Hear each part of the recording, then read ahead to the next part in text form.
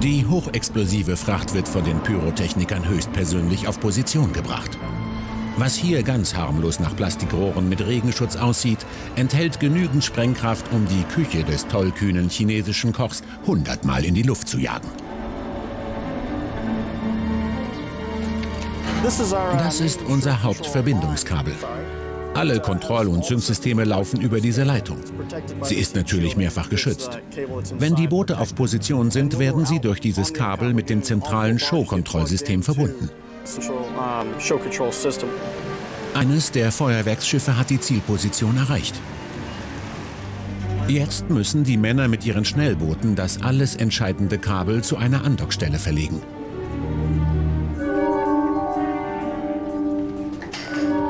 Von hier aus geht es dann viele Kilometer unter Wasser weiter bis zur Kommandozentrale. Wir sind hier hoch oben auf dem Dach des sogenannten Mexiko-Kontrollgebäudes. Von hier aus wird alles kontrolliert und alles überwacht. Auf dem Monitor sehen wir 20 weitere Abschusspositionen. Gefeuert wird auch vom Ufer aus. Die Pyrotechniker sind rund um die Uhr im Einsatz. Es sind an die 60 Computer, die alle mit dieser Kommandozentrale in Verbindung stehen. Unser Operator wird sie heute Abend alle ständig im Auge behalten. Der Star der Show ist ein riesiger Erdball. Dieser Globus besteht aus sechs Hauptflügeln und dem drehbaren Mittelteil, auf dem alles montiert ist. Sämtliche Geräte, die wir zur Stromerzeugung und zum Betreiben der riesigen Videoleinwände benötigen, drehen sich mit dem Globus. Wie schwer ist die ganze Konstruktion? Das Gesamtgewicht des Erdballs beträgt 200.000 Kilo. Und trotzdem öffnet er sich mit der Leichtigkeit einer asiatischen Lotusblüte. Wir mussten einen flachen Bildschirm auf die Oberfläche eines Balls übertragen. Das war das Einzigartige an diesem Projekt. Wir haben etwa 16.000 dieser Leuchtwürfel über die Erdkontinente verteilt. Das sind insgesamt 180.000 einzelne Leuchtdioden. Jede dieser Leuchtdioden muss von einem Computer einzeln angesteuert werden, damit man aus 200 Meter Entfernung ein bewegtes Bild sieht. Auch dieses weltweit einzigartige Wunderwerk muss jeden Tag über den Kanal zum See gebracht werden.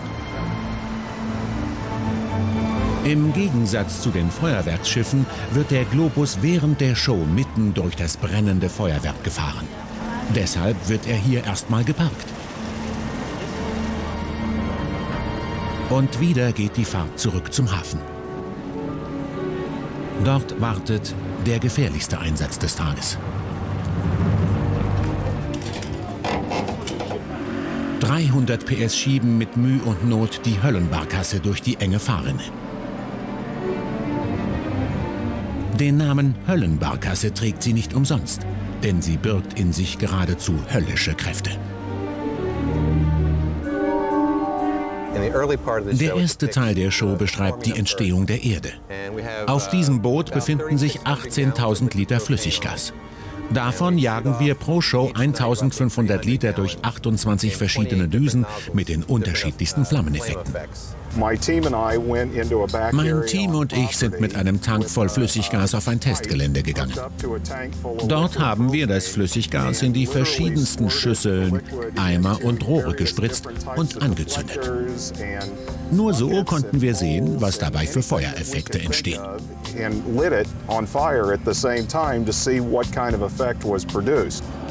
Aus diesen nicht ganz ungefährlichen Feuerspielen ist schließlich die Höllenbarkasse entstanden. Sie wird von den Pyrotechnikern wie ein rohes Ei behandelt.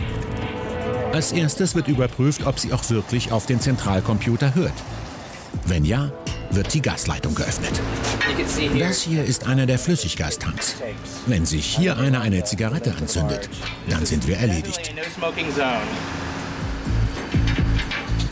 Die Zeituhr tickt. Kommando zurück in den mittlerweile leeren Hafen. Sämtliche Boote sind auf Position gebracht worden. Um 19.30 Uhr fahren wir wieder auf den See, richten die Laserstrahlen ein, beladen die letzten Abschussrampen und machen die Feuerschiffe scharf. Ab dann ist der gesamte See Hochsicherheitsbereich. Ich möchte euch Ron Warner, unseren heutigen Sprengmeister, vorstellen und Kurt Polambo, unseren Chefkapitän. Um sechs vor neun wird Tim, unser Kontrolltechniker, diese beiden Steuergeräte in Gang setzen und damit sämtliche Computerprogramme aktivieren. An einem guten Abend läuft dann alles fast wie von selbst. Wir überwachen sämtliche Systeme und wir schauen uns unser Feuerwerk an. Eine letzte Abschussplattform muss noch scharf gemacht werden. Und dann das alles auslösende Kommando für 50.000 Zuschauer pro Abend. Alles klar, Jungs. Es kann losgehen.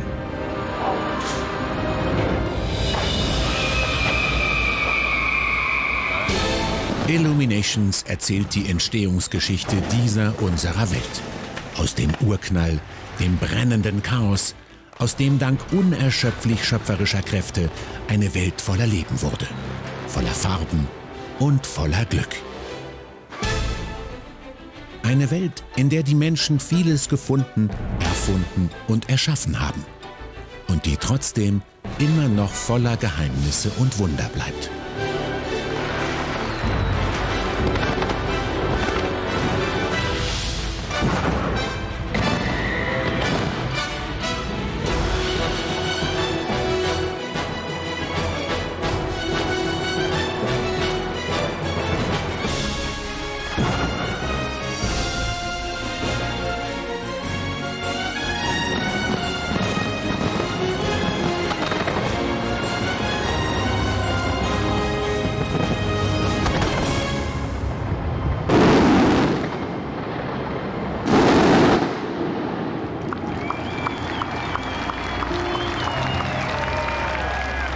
Wir wollen den Menschen zeigen, dass wir miteinander zurechtkommen können.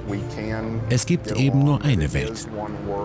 Es ist eine Botschaft der Einheit und des Friedens. So ein Feuerwerk gehört wirklich zu den schönsten und größten Schauspielen überhaupt. Es lohnt sich wirklich, hierher zu kommen, um sich Illuminations anzuschauen. Ich hoffe, euch hat es gefallen. Wir sehen uns nächsten Sonntag wieder bei der Disney Filmparade. Bis dahin, macht's gut. Tschüss.